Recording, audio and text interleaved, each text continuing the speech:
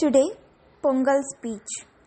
Pongal is really on the biggest and most popular festival celebrated in Tamil Nadu.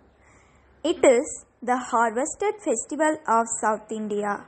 Pongal Day is celebrated as Thanksgiving Day.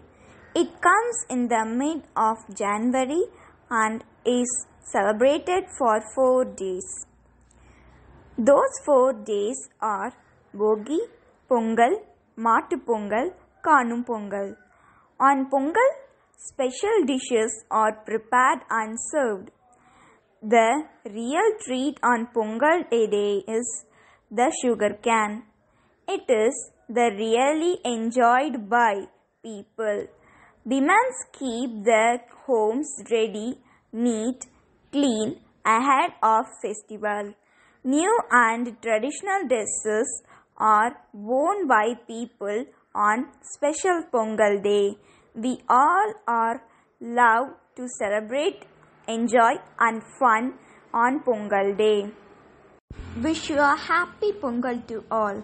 By Red House P. Shivathamal Yazhini. Thank you.